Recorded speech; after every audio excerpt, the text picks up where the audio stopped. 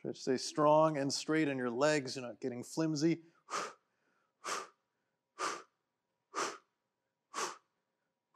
For four, three, two, one. Relax. You can let your hands out from under the body. Move your wrists, move your ankles. Take a couple breaths.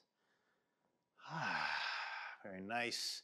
That's a great one for some of these smaller muscles, the hip flexors, psoas, some of these guys. And sometimes be harder to reach with certain exercises.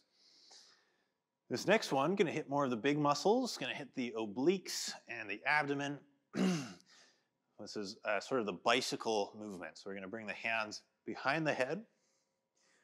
There's some good science showing that this one is one of the top abdominal exercises for the amount that it per minute of doing this activates the abdominal muscles. So it's a very quick way to get strong in the abdomen.